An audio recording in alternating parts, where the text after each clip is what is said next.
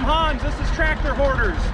Have you guys ever thought about what happens if you hook a three bottom plow up to a tractor like a John Deere B that's made to pull a two bottom plow? Will it pull it? Let's do some tractor science today and figure out if it can do it.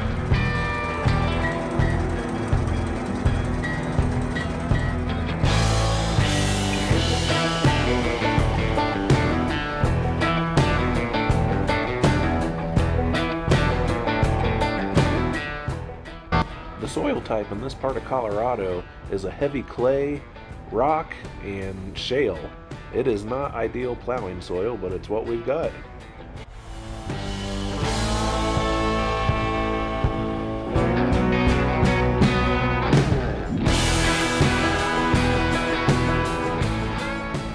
What we got here is a 1948 John Deere B. We have a John Deere hydraulic cylinder from the same era that's hooked up to this Minneapolis Moline three bottom plow. This back tire here, it needs replaced, but that's not gonna affect our testing today.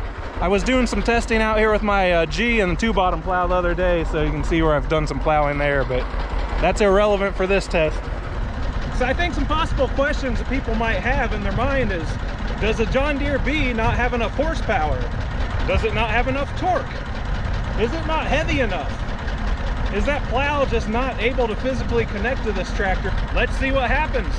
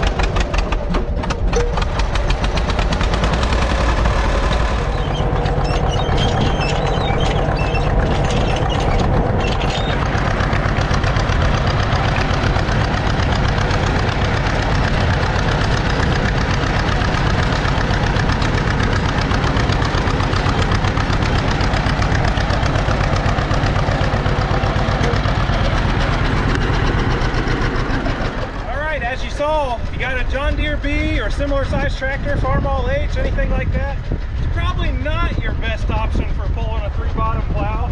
It'll pull it, but it's kind of a chore. overall, the engine horsepower is not an issue. The tractor's got torque.